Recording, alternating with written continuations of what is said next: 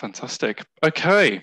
Well, uh, welcome everyone uh, to this evening's Wild About Devon webinar, which is being uh, convened by the Devon Local Nature Partnership. We are very honoured this evening to have not two but three speakers uh, from the Devon Hedge Group talking about hedges, none other than hedges. Um, and uh, so it's going to be quite an exciting one. We're going to start with Rob Wolton, who will be talking about the benefits of hedges for wildlife and people. Then we'll have Tom Hynes, who'll be talking about hedge management. And finally, we'll have Megan Gimber, who'll be talking a little bit about hedge survey. So after each talk, there'll be an opportunity to ask questions. We'll have five minutes of uh, Q&A. So if you just want to put your hands up and I'll call out your names and we can can fire some questions across. Um, so if I could just ask for everyone to go on to mute and otherwise we shall get started. So I need to share my screen, don't I, Rob? Yes, please. Yes, indeed. Okay. This looks like the right one. Okay, brilliant. Oh, move this out of the way. Okay, over to you, Rob.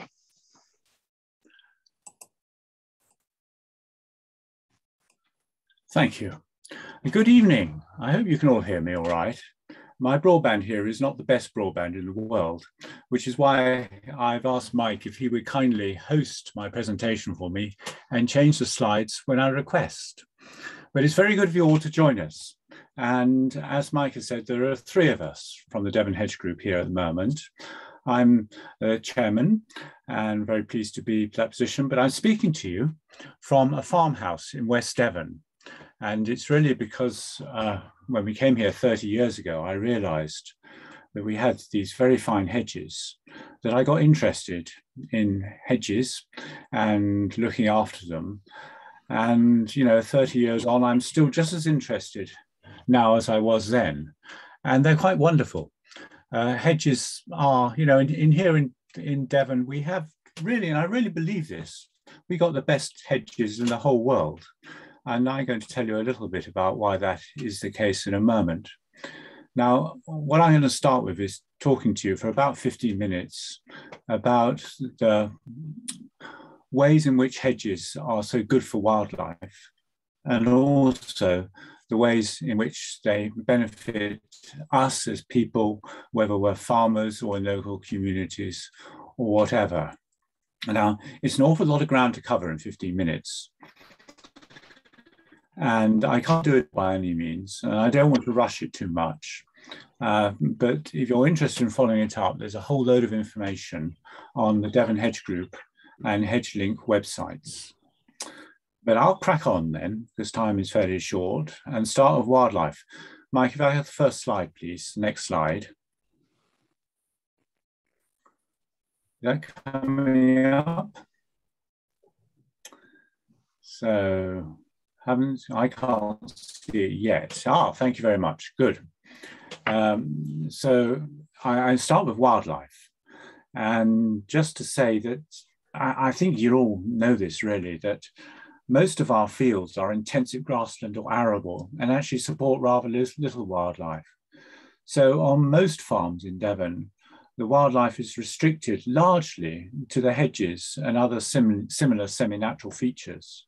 So typically on a farm, something like 95% of all the wildlife is found in the hedges and similar features, and only 5% on the open fields. And that's even though hedges only occupy a tiny proportion, perhaps 5% of a typical farm. So enormously important from that point of view. Next slide, please. And they do have, you know, the most astounding number of species they can support. So I was challenged about 10 years ago by, by a mate to see just how many different species of animal and plant and fungi there are in a single Devon hedge. And I spent two years doing this. Uh, I had a lot of help from experts. At the end of it all, I found 2,070 different species in this one Devon hedge. And that's not the sum of it all. There were lots of things that couldn't be identified, particularly little parasitic wasps. So perhaps 3,000 species big enough to see with a naked eye in a single Devon hedge. And that is truly astounding, isn't it? And just think then what a whole network of hedges might contain. Next slide. So I thought I'm just going to run through very quickly uh, a handful of special species that you can find in Devon hedges. And starting with the brown hairstreak butterfly, which is very much uh, a hedgerow species. It lays its eggs on the new shoots of blackthorn and its caterpillars feed on the young leaves. We have here in Devon a national stronghold of the species, which has declined in much of the rest of the country um, because it's thought because hedgerows aren't managed very well there.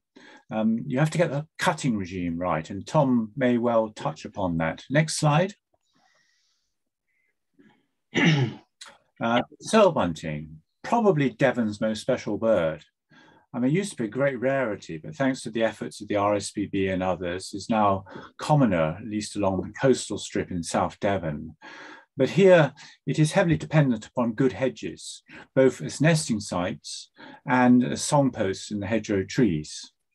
Next. And then we have the hedgehog. Well, the name says it all really, doesn't it? But this is a threatened species and declining rapidly. And we need to take care of it and obviously take care of the hedgerows, which are important for it. Next one. Uh, bats, lots of bat interest around hedges, but this species in particular, the greater horseshoe bat, I'm sure you all have heard about this. Um, here in Devon, we have some of the, well, we have the best nursery colonies in the whole of the country, and they're some of the best in the whole of Europe. Uh, radio tracking studies have shown that these bats are using hedges as navigational aids and flyways to move around the Devon landscape. They're also using them um, as feeding habitat, uh, catching the larger moths and larger beetles, which are their prey. Next slide.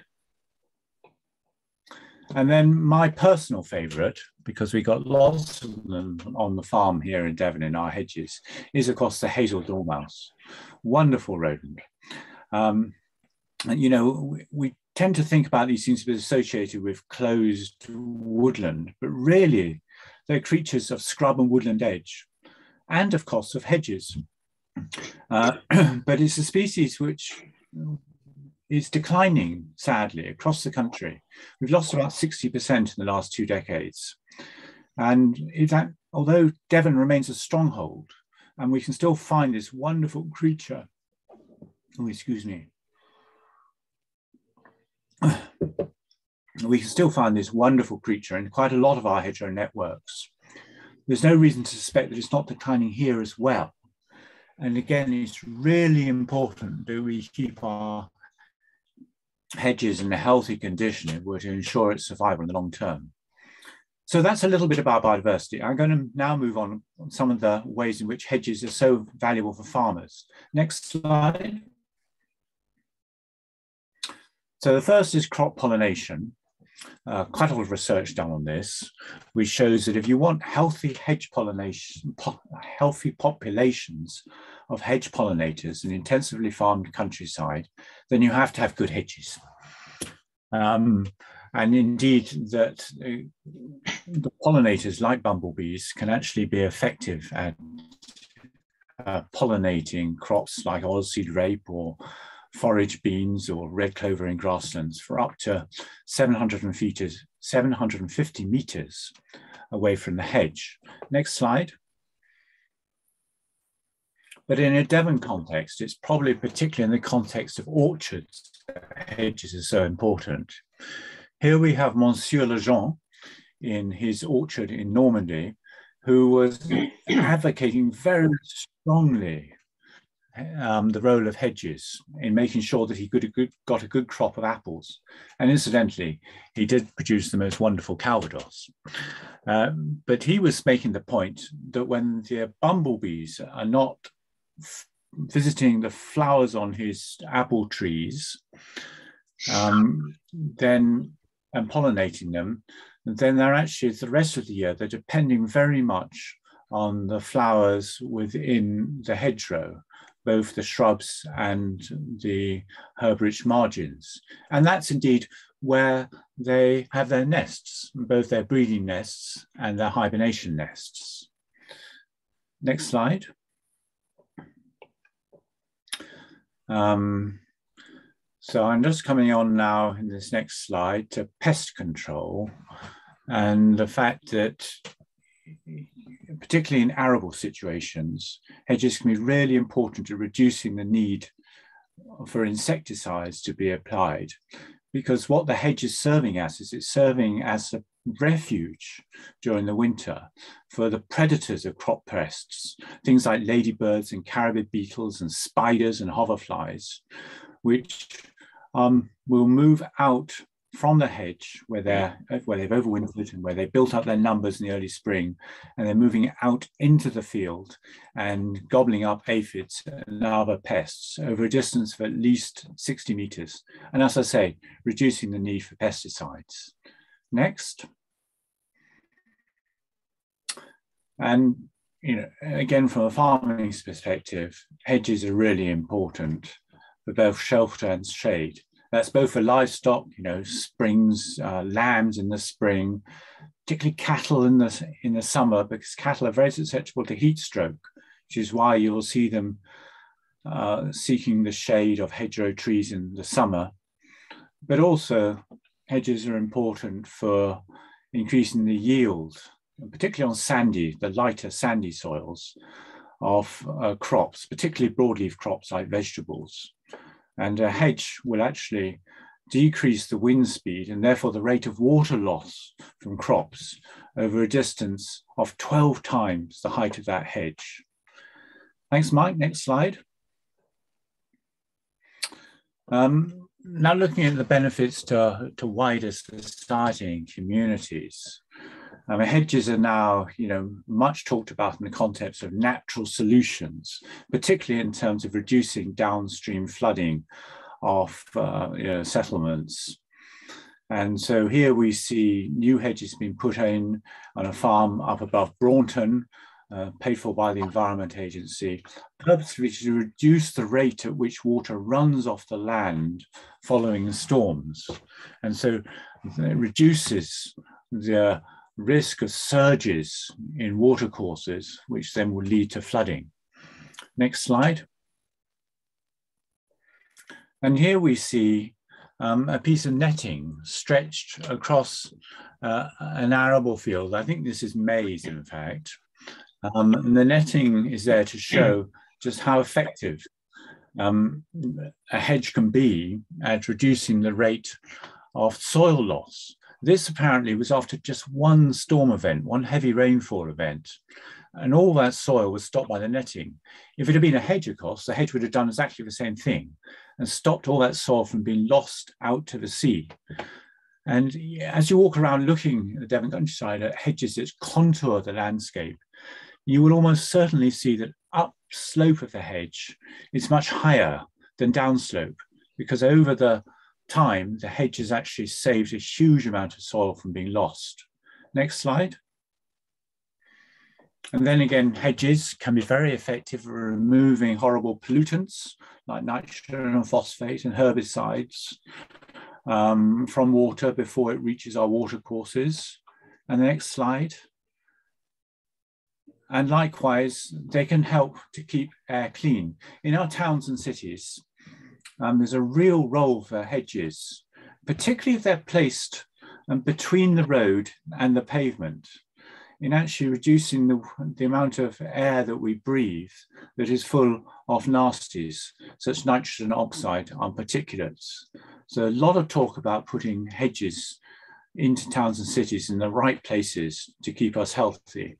Whilst on farms, hedges, particularly where they're allowed to grow tall into lines of trees, around intensive livestock rearing units can be very effective at remo removing ammonia. Thanks, Mike. Next slide. And all we're taught these days with, uh, you know, a climate change conference taking place in Glasgow shortly is about climate um, change and what we can do to mitigate that. And here hedges have a real role to play in storing and capturing carbon. Uh, it's self-evident they're going to be better at that than open fields. But just to remind you that the carbon is stored not just in the woody growth above ground, but also um, in the roots and in particular in the soil. And it's that soil organic carbon is where it is stored up for a long time is particularly important. Next slide. And so you know, just to indicate how important on a typical bit of Devon countryside, a bit of Devon farmland, and something like 13 to 38%, depending on the density of, of hedges and how many woodlands there are, but something like 13 to 38% of all the carbon stored in the hedges, sorry, all the soil stored in, all the carbon stored in the soil will be associated with the hedges. So very important. And next slide. And that's why the Climate Change Committee, in their influential net zero report produced last year, called for a 40% increase in the extent of hedges. Now, I think they use the word extent carefully. So it doesn't just mean planting new hedges, but it also means that we can let our hedges go wider and taller, and they will therefore capture a whole lot more carbon and help to reduce the rate of climate change. Thank you, Mike. Next one. And just to remind you, of course, that hedges as well can be very good sources of wood fuel. There are plenty of um, farmhouses around the county which are heated in part or even sometimes totally by wood fuel taken from hedges. We heat our farmhouse a lot with wood, wood burnt in our wood stoves, which comes from our hedges. There's a lot of information on this, which is available on the Devon Hedge Group website. But it's something which we in the Devon Hedge Group would see a, like to see a lot more happening, is hedgerows actually being harvested, cropped, managed, cropped, harvested for wood fuel, a very good source of renewable energy. Thanks. Mike, next slide. So I'm moving on now towards the end of my uh, 15 minutes, just to say the cost, hedgerows are hugely important in our landscape. Just imagine what Devon would look like if it didn't have any hedges. Pretty ghastly, wouldn't it, really? I mean, we may sometimes get annoyed at them because we can't see over them when we're driving along the lanes. But in fact, away from the open moors and the close, you know, close to the coastline, they define our landscapes. And they're very important for bringing tourists into the county. There, a lot of farms use their well-hedged landscapes to help sell their products. And of course, if farm, when farms change hands, nowadays, those that have maintained good hedgerow networks are more valuable. And next slide. Um, and you know, culturally historical can't really underplay the value of hedges. And most of our hedges are uh, medieval in origin. They're 600 years old or more. At least two thirds of our hedges are 600 years old or more. And you know, you can look when you're looking at field patterns, which of course are defined by the hedges, you can really read the history of the landscape from it from its hedges. And as Tom will, I'm sure, tell us, we have our own traditional um, hedge laying style, the Devon style. And Tom, I'm looking forward to hearing what you have to tell us about that. And really, part, my uh, penultimate slide, the next slide, is just to make the point I, I, I touched upon hedges being important for keeping uh, the air we breathe clean, particularly in towns and cities, but also just to mention that they can provide really good opportunities um, for people um, to improve their both physical and mental health. And I think there's a lot of opportunity for local communities to actually involve with their with local farmers um, over hedge management. So the local community can, with the farmer's permission, say, lay or coppice a hedge. And in return, they get these the benefits of the physical activity and the social interaction, but they also get um, the wood fuel from the hedge, which in these times of expensive you know, fuels and a lot of fuel poverty, that could be really important. And the farmer in return gets their hedges laid, their hedge laid. If you're interested in pursuing that, then there's a lot of guidance on how to do it in a toolkit available through the Devon Hedge Group website. So next slide. So just to conclude what I've been saying, um, I hope I'm able to persuade you, if you didn't weren't already convinced that hedges are quite wonderful and do all sorts of good things for us. They're vital for wildlife. Um, if you're a farmer, they really do sustain or increase farm yields. They conserve our soils, they reduce our flooding, they keep our water and our air clean. In terms of climate change, they've got this real role to play in terms of carbon capture and storage and they create healthy and beautiful landscapes. And my final slide, please, Mike, is just to remind you that heaven, the, the, the heaven, that Devon has the very best hedges in the whole world. Thank you, and I would welcome any questions.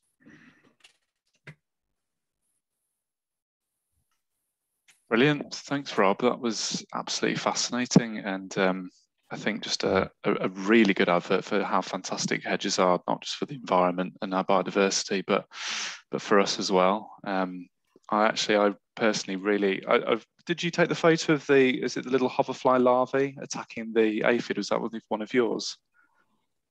That's right. It was in, I, am not very good at looking after my brassicas and I tend to let them go into flower and seed and the aphids attack them. And I was just watching, looking at these aphids and the hoverfly larvae there, and they're really quick at eating them. You know, they go scrab, suck the juices out.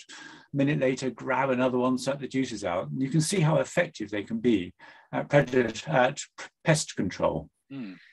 No, it's brilliant. I think we, we often hear a lot about sort of pest control and uh, predatory species, but to actually see it in action and not just a lady ladybird was was quite nice. So well illustrated. Fantastic. Okay, well. Um, if anyone would have any questions, if you want to pop your hand up, the hand function, and uh, we can I can call you forward to ask a question to Rob, if if anyone has any.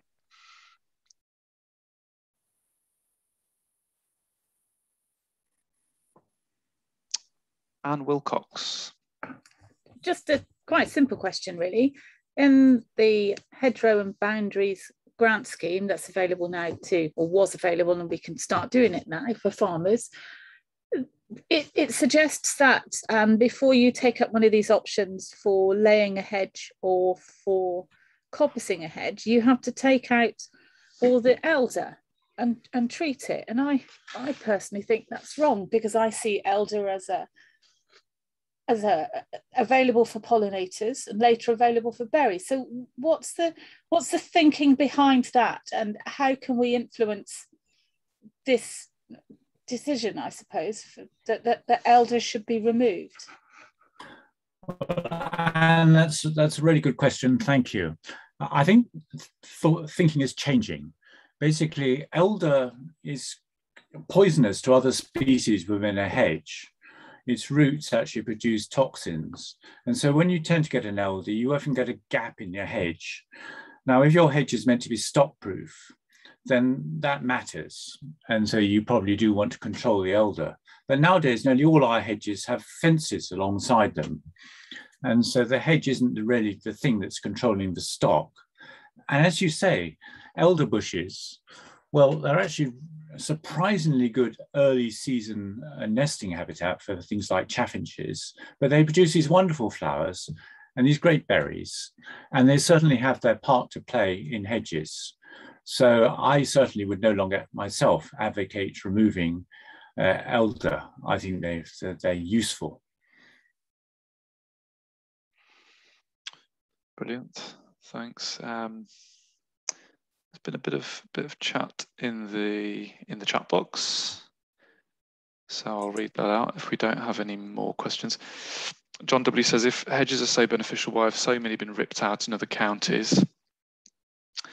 And I guess, I guess Rob or or Tom or Megan, I, I, suppose that's in many ways it's it's variable across the country, isn't it? The sort of the loss of hedges. As I suspect in Devon, uh, many of them have been retained because it's quite a hilly landscape, a pastoral landscape with small grazing fields, whereas in a lot of the lowlands, particularly where my girlfriend's from in Suffolk, they've been ripped out to consolidate into larger fields, haven't they? Is that is that a right a correct assessment? Do you think, Rob?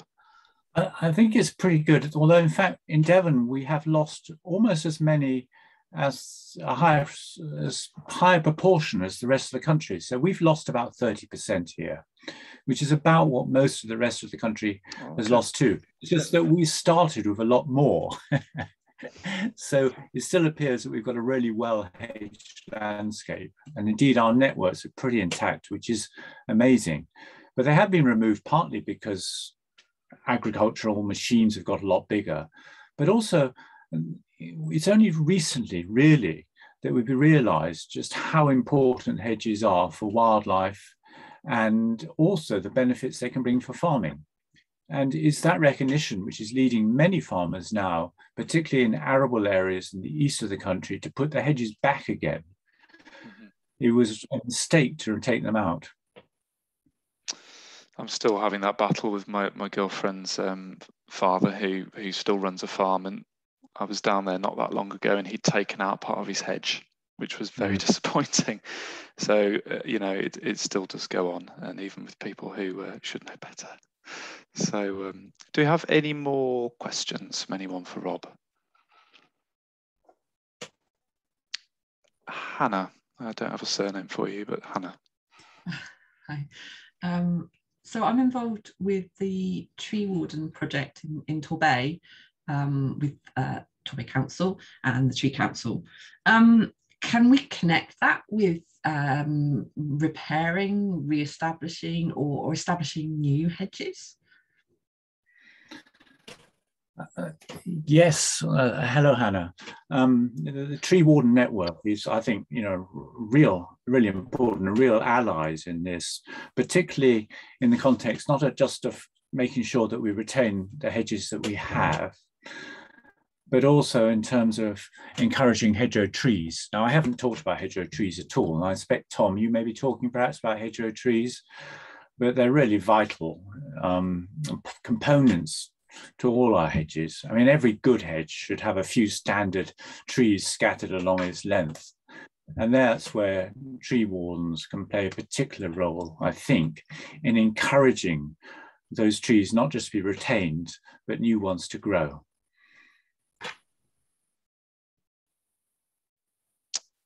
Fantastic, thank you. Okay, well, if we don't have any more questions, then we shall move on and uh, hand over to Tom, who will be talking about uh, uh, hedge management. So over to you, Tom. Rob, if you if you want to, there are a few questions actually in the chat, so do have a look at those in your own time and, and uh, answer those if you like. But uh, until then, over to Tom. Thanks. Thanks very much. Um, I'm Tom Hynes, and like Rob, uh, about 30 years ago, I bought a small farm in North Devon um, I had been keen on hedges and hedge laying for many years, having worked as a contractor in Kent. Um, I've run many training courses encouraging people to learn the traditional skills of hedge management. Um, and I think all through my time of working for Devon County Council, I was lucky enough to be able to run these courses for the county under various guises within their countryside management sections. Um, so I'm very much going to be talking about management. I should be following up some of the things that um, Rob has uh, already mentioned. But obviously, he's introduced it nicely to say hedges are terribly important for wildlife, terribly important for landscape, um, and terribly important for culture but the way that you manage them um, will affect um, will affect how good they are for all those purposes. I thought we'd just start off with looking at what are what is the condition of Devon's hedges at the moment. Um, and according to recent, comparatively recent research, 38% are in favourable condition. So I think anyone who goes up country would instantly spot um, the further they go from Devon, generally, the worse the condition of the hedges are. So we're very lucky here to have 38% in good condition. Um, I'm not quite sure how it relates to the other counties, but it's certainly it's a good statistic. But when you look at why they're not in good condition or so-called favourable condition, the hedges that are failing are either because they're cut too frequently um, or not cut often enough turning into a line of trees. So these are two conflicting um, problems for hedges. So it's overmanagement and lack of management. So how should they be managed? Um, at our Devon Hedge Group meeting yesterday, it was proposed that all hedges should be allowed to grow up to 12 years and then should be laid by somebody um, and allowed to grow up for another 12 years. Now, I'm definitely a realist. I would love to see this happening. It's what would have happened in the past, many, many years ago. But nowadays, um, the flail is definitely the main method that hedges are managed. And I know they're very unpopular with the public. Um, and generally, they're popular with farmers. Um, and at the moment, all day today, I've had a, a flailing contractor cutting around me. Um, and I think generally doing a pretty good job. Um, but they're not the be all and end all of, cutting, of, of managing hedges. Um, and I think there is a there is a controversy, or there is a there are two beliefs. I think many farmers would say, I would like my hedge cutting and hedge management to cost as little money as possible. And many conservationists would say, I would like my hedges to be as best possible for wildlife, which probably means bigger the better. Um, but hopefully through this talk, I will be able to show where there are where we can get a better balance between those two extremes. And obviously, I'm not suggesting that all farmers want to see hedges um, cut short and small. And I'm not suggesting that all conservationists want to see them big and enormous. But there are the two attitudes, um, and we need to get a good balance between them. One of the ways of explaining hedge management is to look at this, um, this picture drawn up by Nigel Adams from HedgeLink, which at the bottom has these green section, which is a nice circle looking at a healthy hedge. And it's, um, we can go round and round this circle, starting off at number four, just laid or coppiced or planted, going through to five when it grows up to 1.3, one to three meters high, at six growing taller, at seven growing taller, and then at some stage or other, we lay and cast uh, lay the hedge and it gets back to stage four. And you can keep on going round and round like that forevermore and your hedge will stay in good condition. Obviously, you can keep it at stage four. Um, you can keep it short by flailing it regularly, but at some stage or other, um, if you cut it too often, you may then go up the, the red route. Going up to cut too often, you may end up at stage three. So hopefully we can have a look at some hedges that are on a good, healthy cycle, and we'll look at some that have gone into the red areas where either they're no good for wildlife or for farming because they've become um, very gappy, or they've become a line of trees and therefore aren't a hedge anymore. So I think we'd all agree that that's a poor quality hedge. Um, it's very gappy. It's very much looking like an umbrella on sticks. Um, all the growth is at the top. It's not dense or stock proof, and it's somewhere in the stage two. Um, hedge like that one is definitely, uh, again, one of these stage two hedges. Not only has it been badly managed and is no longer dense and stock proof, but the stock have gone through the Devon Hedge bank um, and are starting to bring that down. So the future of that hedge is looking looking very dubious. If we look at the other end, if you can see them, those that's a, a, a ewe and her lamb underneath a line of what is turning into a line of beech trees. So that's definitely somewhere in this sort of stage nine, seven meters high plus. So that's gone into the red area as well. Um, and the, that's probably gone beyond doing anything apart from leaving it to a line of, of trees.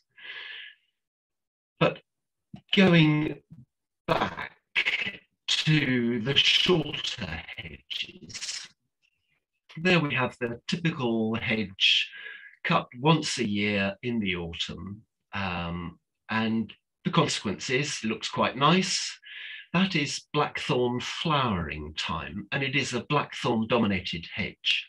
And you can see, although there are a couple of bits of misty flowers there, the majority of it is not flowering. And if it doesn't flower, it won't be so good for insects, it won't be so good for um, sloes in the autumn, um, and generally it won't be as good for wildlife as you would have hoped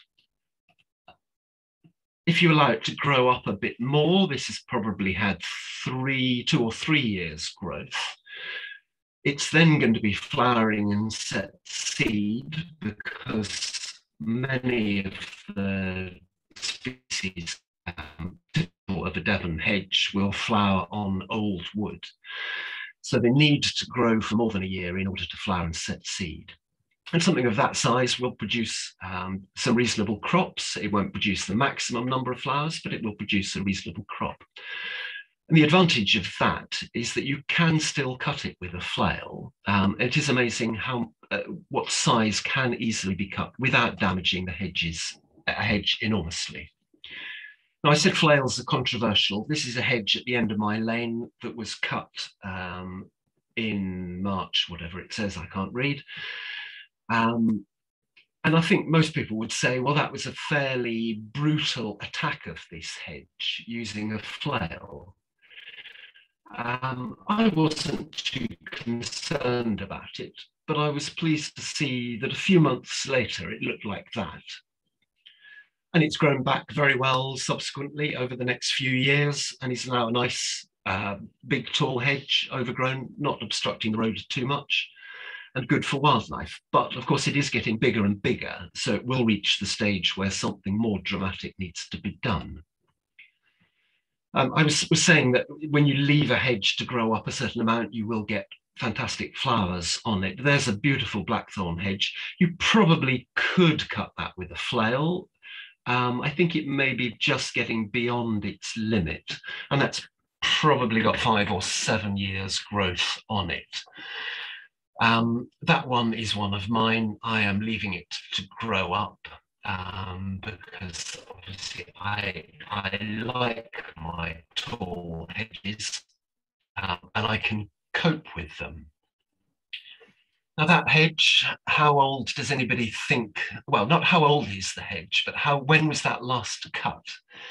Now, I'm lucky enough to have been here for 30 years, so I know that this hedge um, hasn't been cut for 30 years. So it's about, um, I would guess, six meters tall um, and is obviously, or even though it's fenced with a rather poor quality fence, the stock have been in there. The willow has grown enormously. It's got very uh, open at the base base. And um, in terms of management if i leave it much longer it's going to be a very very difficult job to do anything with. So three winters ago i started laying the hedge. So this is the same hedge um, and you can see the standard trees that I've left behind, um, which are the original size of the hedge. But this is this willow section. So all I've done is I've cut out the biggest material and I have created a hinge, excuse me, a hinge at the base of each of the stems so that I can bring the stem over in true Devon style, leaving it tight on top of the bank um, where it will grow back and create this dense, thick stock-proof barrier that you can't even get a dog through. Um, only my dog loves to be up in the middle of the hedge all the time. Um, and so this is hedge laying or steeping as it's often referred to in Devon. Now, because the Devon hedge is rather different um, to most hedges because it involves the bank as well, after you've steeped your hedge, the correct technique is to take the soil from the bottom of the bank and cast it up. So casting up is the technical term, um, and put it on top of the bank, partly so that um, you retain the bank and its height, and partly so that you lower the height of the field and make a more stock-proof barrier. And you can see there that I've put in um, probably into the middle of the hedge, I've probably put in one foot six, possibly even two foot of um, soil to build the bank up to a reasonable height where it had been um, knocked back by stock. You'll see there are some nice uh, bluebells growing in a hedge. I've tried to do a subtle job not to get rid of them altogether by burying them too deeply. Um, and where, where possible, um, I, they have survived through the experience and the hedge is growing back very nicely now. So this is the um, traditional technique. Any of you who've seen James Ravilious's wonderful photographs of hedges may well know these are very nice picture of Mr. Squire of Dalton um, laying his hedge, having his breakfast, leaning up against the hedge. This is my recreation um, of that photograph. It's obviously not as good as the James Ravilious, but is the modern version of it. Um, I love to use a, a, swing shovel for casting up. I do occasionally use a Devon shovel, but I'm sure many of you will have used Devon shovels and will know just how much hard work it is to cast up merely using a shovel. So hats off to those in the past that did it all by hand. So if you look through the stages, these are all the same section of hedge, a 30 year old hedge brought back into management. Um, and now dense, stock-proof, good for wildlife. Uh, my plan is to leave it for another 30 years. I've obviously left hedgerow trees to grow on, um, and hopefully that hedge uh, has been suitably managed. Now, why does everyone not do this? This is perhaps one of the questions that comes first to mind. Again, it comes down to expense. How much time is anyone willing to spend? Um, obviously, I enjoy my hedge laying enormously. Rob was talking about community groups, um, and I know lots of people who love going out hedge laying, and it's satisfying. I was recently quoted as saying you turn something messy, a messy hedge, into a neat and tidy hedge. And my wife told me off for saying this because obviously, as Rob would be the first to agree, messy is it's quite important in the countryside, and we don't want it to be over tidied up. But I think what I was trying to say was there is a certain mentality where you can change an overgrown hedge into a beautiful laid hedge and really enjoy that satisfaction. So it's expensive. If you get a contractor in, in the past it was thought you might lay a chain a day, and a chain is around 20 meters. So here we have a contractor on um, uh, on Exmoor who's managing to lay 40 meters a day, so twice the national or the expected average. And the reason he's doing that is the hedge is in perfect condition for that. So one of the compromises we could go for is for people to be confident that there is a hedge laying contractor locally who in year 12 to 15 will come along, quote a reasonable price and lay the hedge beautifully. Um, and the farmer then has saved 12 to 15 years of hedge cutting costs, and it may then be quite an economic thing to do. Rob's already talked about um, hedge trees, and Um, the hedge group ran a competition recently encouraging people to, to be proud of the hedgerow trees they've established. And this is the winner of the competition. He'd been establishing trees on his farm for many years and was a great promoter of them. A lot of farmers might say that hedgerow trees cause gaps uh, one of the ways around it is to not have low branches on your hedgerow trees. And you can see this farmer has taken off all the low branches to allow the light into the hedges underneath so that they remain stock proof. But if, uh, obviously we have ash dieback at the moment, if we are to retain, even, even before ash dieback came along, we needed to do something like 2,000 replacement trees every year which equated to each farm um, replacing one tree every three or four years. So it isn't a huge commitment, but everyone needs to do their bit. And we as the Devon Hedge Group need to keep on raising awareness of the fact that hedgerow trees are incredibly important. Rob has already talked about climate change and he's talked about this 40% um, increase in the uh, extent of hedges one of the things that I would say new hedgerow trees could help to do this 40% increase. So it is a really important thing. How we encourage farmers to do this, I'm not sure, but um, we need financial incentives, definitely. Um, and we need more understanding of the fact that of just how beneficial they are. The flail, of course, is not the only way you can manage hedges. There are uh, various other options. A rotary saw doesn't make such a mess and can be used very effectively at cutting uh, bigger material, but you still have to clear the big material up. And Rob talking about firewood, you know, this could be a useful method of coppicing a hedge so that you can produce firewood from it. Hedgerow shears were developed in the forestry indus industry and basically hold on to your steeper, cut, cut through it, or uh, your coppice material, cut through it, still hold on to the, the stem, and then you could would use it for wood chip, put it straight into a wood chipper, or you could just thin your hedge accordingly and then lay it with a chainsaw afterwards. There are, there are various techniques available which could be useful. I thought I ought to just finish um, to say that obviously management isn't only about the shrubby material. At the top, we have many stone-faced hedges. They need management as well. Here we have a group of unemployed on some recent scheme or perhaps a further, uh, more distant scheme.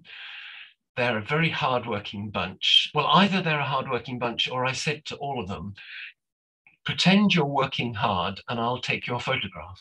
Um, and they all pretended they worked very, very hard, a good bunch.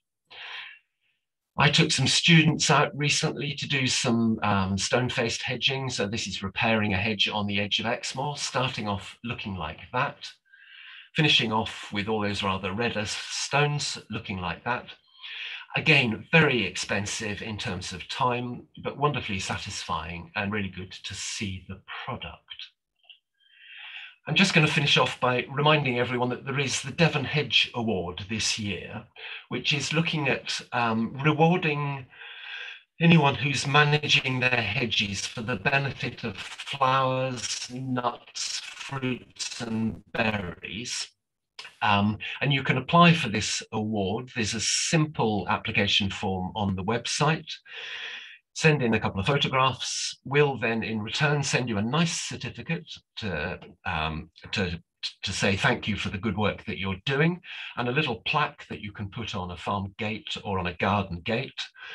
Um, and I've just used this lovely photograph of some holly berries, um, and I put it on the Devon Hedge Group Facebook page and to raise awareness of the award scheme. I just spoke to my wife um, to say, I, I, took this photograph on uh, Saturday, I think, and she said she saw a whole flock of redwings had just moved into this hedge because they roost in the hedge and then they feed in our orchard. And the next time I looked at these hollyberries, every single hollyberry had been stripped by the redwings. Um, and it's interesting that the redwings, going back to Rob's bit about the wildlife, the redwings are going for the holly berries before they're going for the hawthorn berries, which is something I didn't know. But it just goes to show how important an overgrown hedge is for wildlife. But equally, just to sum it up, um, you can bring them back into good conditions. There are ways of bringing them back. We need more support for farmers so that they can effectively manage them. Um, so that we have beautiful hedges, some of which are tall, some of which are short, all of which are suitably managed for a long time into the future. Thank you very much. Wonderful. Thanks, Tom. That's that was absolutely fascinating as well. Um, I just realised that I have established my own hedge in the new garden that we've recently moved into a new house last week, and uh, thinking maybe I should enter it into the Devon Hedge Wards, but it is only it's just it's all hornbeam and it's mostly been put in to block out noisy neighbours. So maybe there needs to be a separate award for effectiveness of blocking out sound, but I've probably got a few years to go yet. Not great for biodiversity just at the moment, but um, anyway. Brilliant. So, do we have any questions for Tom about uh, hedge management?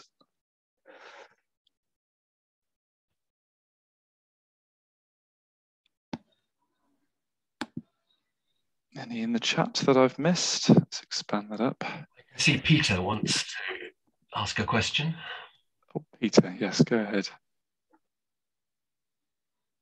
Just unmute. Yes, um, I'm a volunteer wildlife warden for ACT, Action for Climate in Teignbridge. And this year I'm intending to run a hedge laying course for some of the wildlife wardens. Um, now, my favourite method is the Midland Bullock. Um, and of course, for that, I need stakes and heathers. Do you have any, or Tom, do you know anywhere where I can get stakes and heathers? I don't mind cutting them myself. Um, um, presum presumably, the hedge that you're going to be working on does not include a bank. That's right.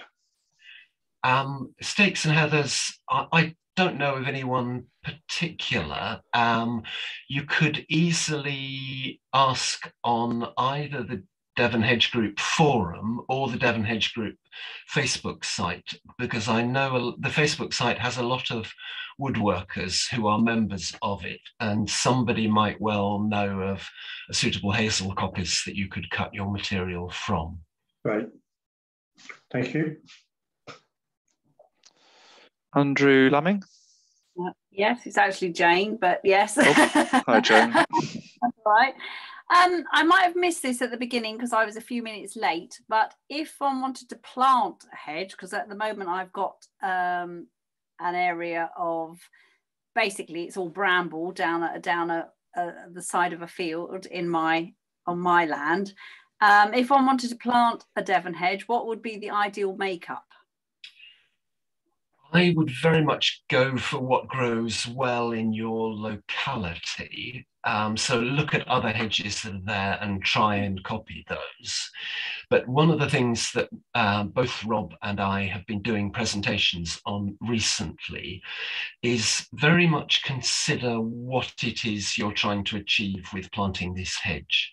If the only interest is a stock-proof barrier, then something that's thorny is probably going to be very good. If your main interest is uh, you're wanting to coppice it at some stage in the future for firewood, then you would want faster growing and willow may be the one that you want to dominate your hedge. But I think in a new hedge, very important to think about what your what the function of that hedge is. Um, and if you want one something that's multi-purpose, so it's going to produce some firewood, it's going to be good for wildlife, it's going to produce some good stock, uh, stock proofness, go for a, a good mixture. Um, the Hedge Group website has some good advice on new hedge planting and hedge choice of species. But as you go across the county, it will vary very much according to where you are. So I'd have a look at the Hedge Group web website. Okay, thank you very much. Thank you. Any other questions? If you do have any more questions, then of course you can put them in the chat if they do come to you. Uh, Sophie. Sophie would like to ask a question. Oh, Sophie, go ahead. Um, hi, thank you very much. It's really interesting, Tom. Um, I'm in East Devon, um, a little bit like the, the previous question. We're trying to, to recreate and improve the, the hedge borders to our own land. Um, but I'm a bit stuck on creating the bank.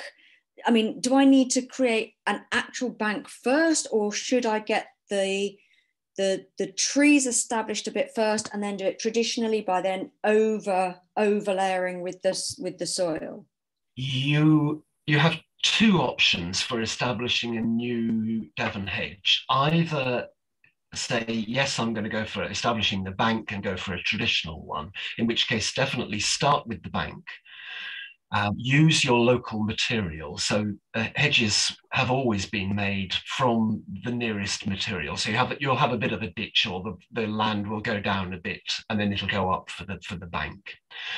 Leave your hedge to settle for a bit because you're if you're going to plant new saplings on top of the hedge, it's as difficult to get them growing there as anywhere you can imagine because it's a bit dry, it's very difficult to access, it may well have weeds. Um, and it is generally quite a difficult job to do. So bear in mind that some weed control over the first year would be good um, and try and um, keep the weeds down as much as possible because they will suck up water faster than your saplings will. So a difficult job, but my recommendation would be get in with a machine, put in a bank, leave it a year, and then do your planting afterwards. Okay, thank you. Thanks. Victoria's iPad. Do you have a question? If you are trying to speak, I think you might be muted.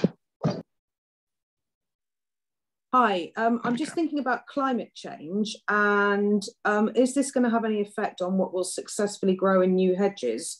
And if so, should we be looking at hedging that successfully grows in warmer climates? And what would you suggest? One of the things that I meant to say when I talked about hedgerow trees um, was that climate change is an issue and that what grows in the future may well be different to what we have at the moment. And one of the things that I've um, I've been involved with the Pledge for Nature run by the North Devon Biosphere Reserve. And my pledge for nature was to increase the diversity of hedgerow trees that I have on the farm. So I've been looking at all sorts of other things. Field maple, for instance, does not occur naturally on the farm. Um, so that's one of the ones that I've chosen. But I've also chosen apple trees because um, they don't need to be carefully managed as they would be in an orchard. I'm only growing them for the apples that are produced, and if they're small and the redwings and the fieldfares love them, I'm very happy with that. But again, something you wouldn't necessarily expect to see as a hedgerow tree. But crab apples grow very well and will be wonderful for wildlife, but there's no reason why you shouldn't have a domestic, domesticated one as well.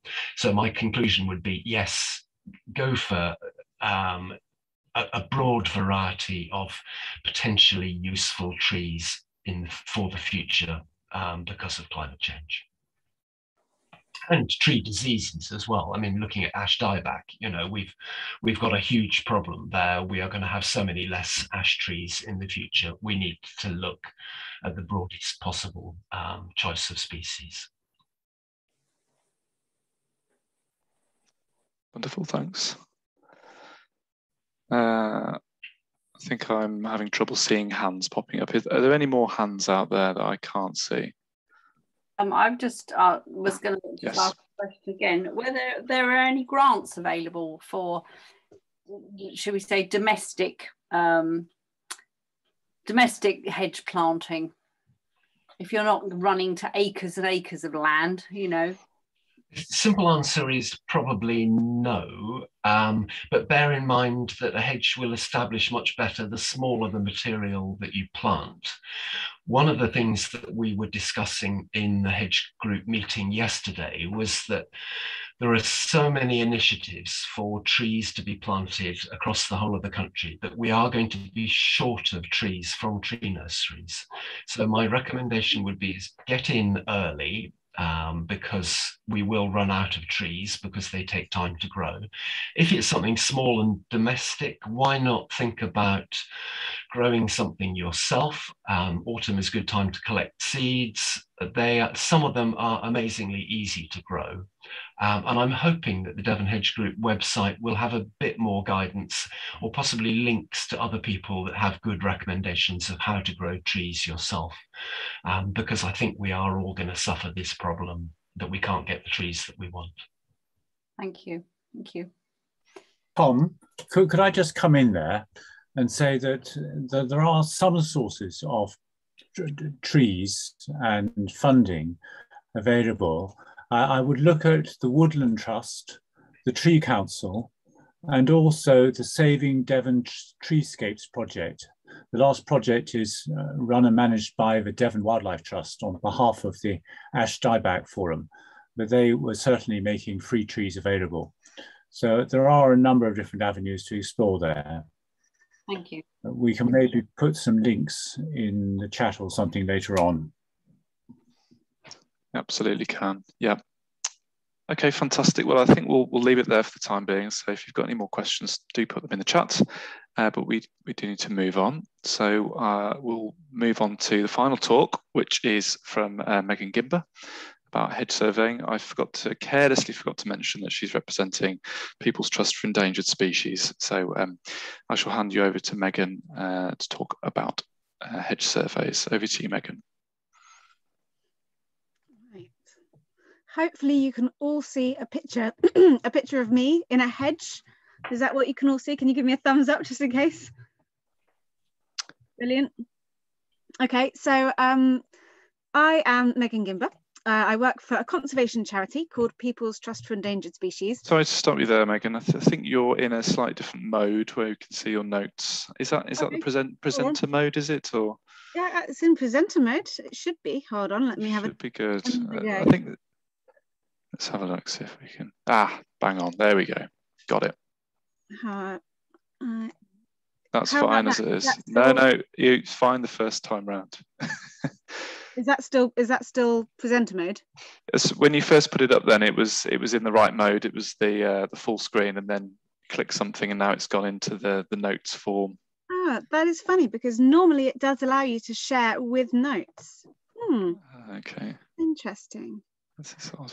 I'll tell you what, I will just try and give my presentation without notes about that. Um, so hopefully I won't ramble too long because giving giving a presentation without notes, sometimes I do I do go off on one instead. Oh, you'll be fine. You'll be fine. Um, let's see. Okay, so so that's me um, buried in a hedge. Um, I work for a conservation charity called People's Trust for Endangered Species. Um, I grew up on a, a farm in East Devon, um, though not a farmer. I laid my first hedge at the age of about seven, uh, although I would definitely still consider myself a beginner hedge layer. Um, and, and, I'm going to talk a little bit about hedge surveying. So a little bit about why we think it's a good idea to survey hedges, a bit about the theory about how, how we do it and why, um, and then an introduction to the two surveys that we, that we run. So from this view, I can't actually move my slides along. Oh. Well, we could go back to the view if that, that, that would be fine if it's not going to shift. Uh, let me see if I can do this one more time.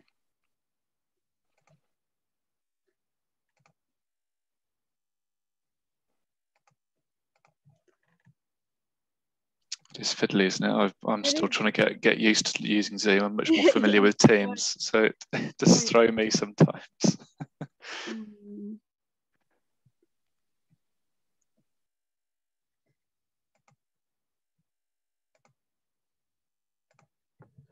see if I can.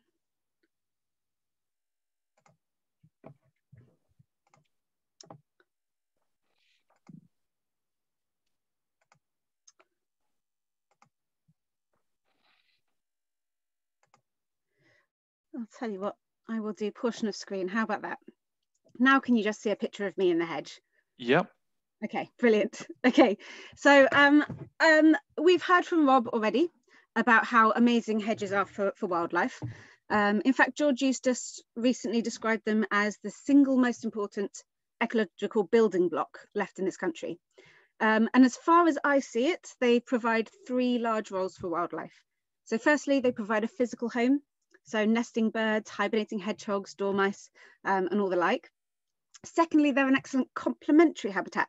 So one that might not, not necessarily be home, um, but plays an important role in life. So this can be for food, um, such as leaves, flowers, berries, um, or insects, or it could be shelter. So a good indication of this is 84% um, of our farmland indicator birds utilize hedges, but actually it's only half of them that use hedges as their primary primary habitat. The rest use them as a, as a complementary habitat, so for shelter and for food. Um, and lastly, they are a route of passage. They um, connect up, um, they act like corridors, connecting up populations that would otherwise be um, isolated and vulnerable. So this is important for things like dormice, for bats, um, for flying insects like butterflies and moths, um, uh, and all sorts of all sorts of creatures that, that really do need these corridors to travel through the countryside. Uh, but obviously some hedges are in better shape than others. Um, and as Tom mentioned, um, the management that they see has a huge impact um, on their structure and so their capacity to sustain wildlife um, and even their capacity to act as effective wildlife corridors. Um, so the level of fragmentation that we see in this hedge here obviously makes it near impossible for any animals to use this hedge for any of their three main uses really. Um, so I'll say we, we did go through some dark decades of incentivized hedgerow removal after the war um, and nationally we lost up to 50%. So I think Devon, the, the, the average of Devon loss was slightly lower than that, um, partly because of the, the, the way that um, Devon, Devon's farming is still sort of small mixed farming, lots of pastoral farming. Um, potentially because the banks made removal a little bit more challenging at the time as well. Um, but we did still see quite a lot of hedgerow loss in these decades. Um, and you can actually